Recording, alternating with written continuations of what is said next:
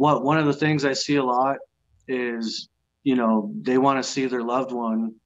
You know, can I just see them? Can you just put them on a table and, you Mhm. know, don't I get to identify the body? Stuff like that. And, you know, it's not like they show on the movies. Yeah. You know, They, the funeral director doesn't take you in a room and uncover their face with a blanket. You know, there's a process for that we call minimal preparation. Uh, there's things that our embalmer does to make them look restful.